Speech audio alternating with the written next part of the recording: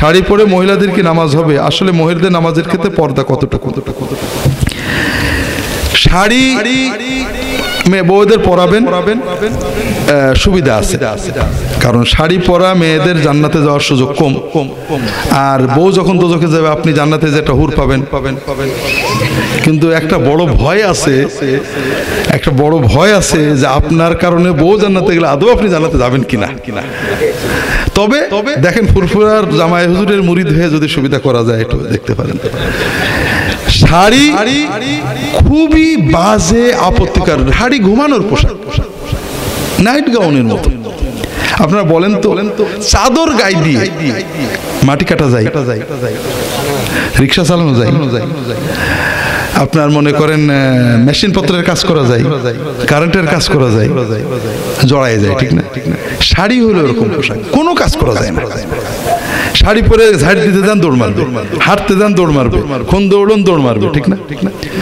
মুসলমান মেয়েদের ফরজ পোশাক এবং সুন্নত পোশাক হলো আমার একটা বই আসে পোশাক পর্দা ও দেহসজ্জা পারলে জোগাড় করে নেবেন মসজিদে পাওয়া যায়। বড় ম্যাক্সি নবীজির স্ত্রী এবং তার মহিলা সাহাবী মেয়েরা কি পড়তেন? বড় ম্যাক্সি। পায়ের গোড়ালি পর্যন্ত হাতা পর্যন্ত। এবং এবং এবং ম্যাক্সির নিচেই পাজামা অথবা সায়া সায়া আর উপরে বড় ওড়না। এই তিনটে পোশাক সবসময় পরতে হবে। নামাজের ভিতরে পর্দা হলো শুধুমাত্র এই মুখমণ্ডল। কপালের চুলের নিচে থেকে দুই কানের ভিতর দিয়ে থুতনি পর্যন্ত।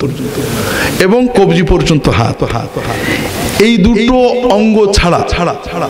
যদি কোনো মহিলা একাকী অন্ধকার ঘরে নামাজ পড়ে কেউ না দেখে শুধু আল্লাহ রাব্বুল আলামিন দেখেন। দেখেন দেখেন সেখানেও যদি এইটুকু আর এইটুকু বাদে শরীরের অন্য কোনো অংশ বেরিয়ে যায় নামাজ হবে না বেনামাজি হয়েই মরবে। কাপড় না থাকলে ন্যাংটোও নামাজ হয় কিন্তু কাপড় আছে আপনার অবহেলায় সরে গেছে নামাজ হবে। আচ্ছা এখন আপনারাই বিচার করেন শাড়ি পরে কি নামাজ হয়? যত ভালো করে পড়েন রুকু সেদা করতে গেলে সরে যায়। কপালের চুল বেরিয়ে যায়, নামাজ ভেঙে যাবে। কান বেরিয়ে যাবে, জুলফি বেরিয়ে যাবে, নামাজ বেরিয়ে যাবে। শাড়ি পরে নামাজ পড়ার জন্য শর্তগুলো বলি। পছন্দ হবে না আপনাদের?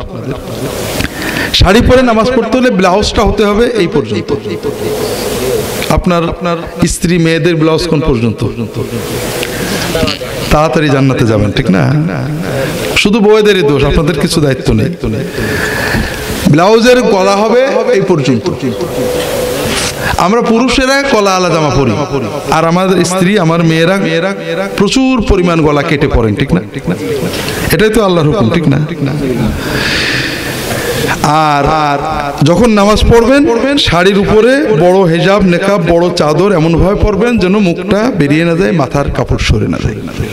তবে মুসলমান মেয়েদের উচিত ঘরে, বাইরে, সব সময় বড় ম্যাক্সি অথবা বড় সালোয়ার মানে জামা আপনার কামিজ, বড় হাতাওয়ালা নিচে পাজামা সালোয়ার অথবা সায়া, উপরে বড় ওন্না এগুলো পরে থাকলে এই যে পর্দা, এটা আপনার বাড়িতেও ফরজ। আমরা বেপর্দা অনেক সময় মেয়েরা দুলাভাই বাসুর দেওয়ারের সামনে যান, বাইরে যান। মহা কবিরা গুণা। মেয়েরা আমাদের দেশে নামাজ বেশি পড়েন, আলহামদুলিল্লাহ, নফল ইবাদত করেন। কিন্তু বেপর্দা চলেন। আমাদের মহতারাম বক্তা একটু আগে বলতে যাচ্ছিলেন ছিলেন ছিলেন না বোঝার কারণে। পর্দা করা ফরজ। সবরতে রোজা নফল। সবরতে রোজার আগে পর্দা করেন না। আর পর্দা কোনো কঠিন জিনিস না। আমরা বাইরে যাব কাজ করব রিক্সা চালাবো। এই জন্য আমাদের একটা জাঙ্গিয়া পরে চলতে হবে ঠিক না ঠিক না? পায়জামা পরলে হবে না?